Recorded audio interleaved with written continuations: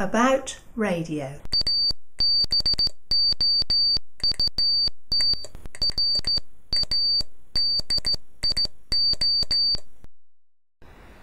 Hi guys, this is the little enclosure that I'm going to mount the um, antenna rotation control unit in.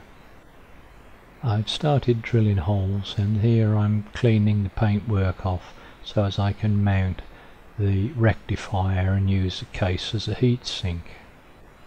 I'll be making a good old-fashioned uh, power supply with a transformer, rectifier and capacitor. Here I've got the transformer bolted into position and that's the rectifier, a little bridge rectifier and I put some heatsink compound on there just to make sure it makes good contact with the case. That's a 4 amp rectifier and that's its home position. I thought I'd share this with you. Um, I've got a, a, terminal strip I'm putting on there and I've got a tiny little bolt and a, a little nut. That's the nut and even with a pair of tweezers I'm struggling every time I hold it there and then get the screwdriver engaged in the slot so the washer drops off. Uh, but a way to deal with that is with a bit of sellotape. And what I do is I've picked up the nut with the sellotape and then I can apply it. I hope I can get this uh, in. And then I can just sort of dab that onto where it goes. It really is a very convenient way to allow you to hold the knot and position it with the end of your finger. And say I find that very convenient. Here you can see I've fitted a 5 amp fuse to protect the transformer uh, against short circuit and rather than fit a fuse holder I've simply soldered it in place on the tag strip. Sometimes it's very convenient to have two or more cables twisted together and uh, if you do that with your drill and then um, give them a pull before you release them from the chuck and you'll find they stay twisted together. Usually I'd have the far end in the vise and give it a good old yank. These are the front panel components in place, the meter, the uh, direction switch and the push button. This is the speed control trigger that I took out of the drill. I've put a piece of wire uh, around the switch and uh, soldered that. So that actually sets the the speed. And I've uh, also glued into position the switch. Um, uh, that's uh, the direction switch. And I'll be using the direction switch on the front of the uh, antenna rotation controller so now I've just got to work out how I'm going to mount this in the enclosure but I don't want to uh, sort of cover it in tape and insulate it because I want any heat to, to escape from this heatsink uh, which is almost certainly will be alive uh, or positive or negative.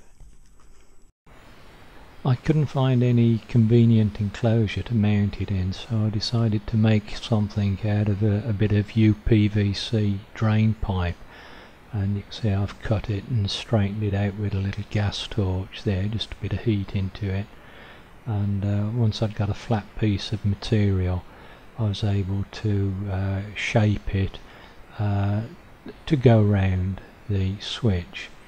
And um, I haven't done anything uh, clever or exotic with it. Um, little hole just to position the switch uh, on the end there and um, well that's uh, that's about it find it very convenient to use uh, something like this UPVC plastic um, with a little bit of uh, heat on it. Have to be careful not to scorch it. You can see I've just scorched the very ends uh, there. But um, there's all sorts of little devices and jigs and fixtures and moulds that you can make out of a, uh, a bit of drain pipe. So um, uh, I, I, never throw away any scrap ends. Uh, there's always use for something. Um, and say, it's very convenient. Here you can see I've drilled a couple of holes to allow me to fix the enclosure and there I've uh, heated and folded down the corners to lock the switch into position. Uh, this is a little terminal strip that's going to go on the back of the box but I only want five screws so I've removed one and uh, you can see there I've cut it down so I've got the five terminals. And uh, I'm going to fix them onto the back of this unit but I cover those holes up with a bit of that aluminium I, I had left over from the guard. And there I drilled some holes I actually drilled larger holes than that and uh, mounted the terminal block in place. And uh, that's a view of it from the inside. And here on the back I've just marked with a, a permanent marker the uh, colours of the cables. And here you can see the two potentiometers. Uh, one is to set zero and the other is to set the scale or the span. And there's a, a couple of scaling resistors in there as well Okay guys, that's the, uh, the finished item there and um, that's my little direction switch.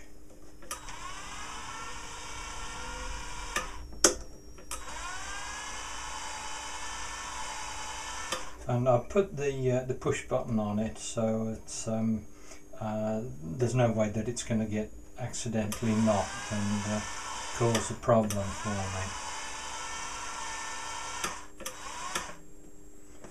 I'm very pleased with that.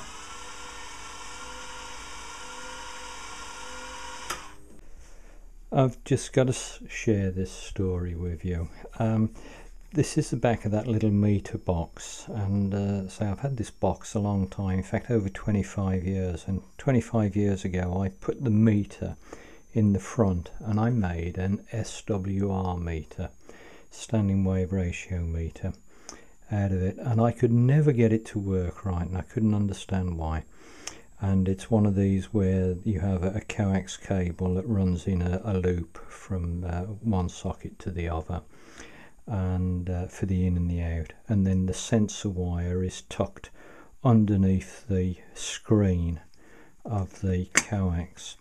And you can see this is where the, the coax was soldered all the way around I did everything but for the life of me I couldn't get it to work.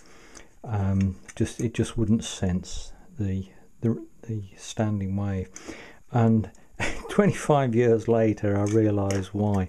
And what had happened obviously I bolted these two sockets in place.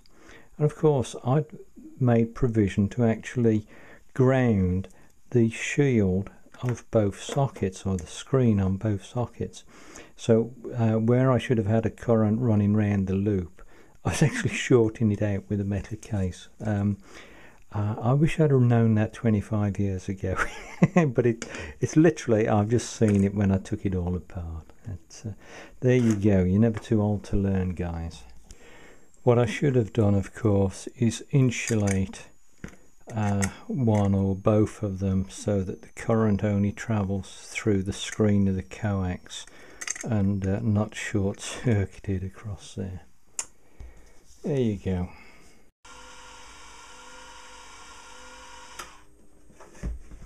Anyway, I hope you found that interesting guys.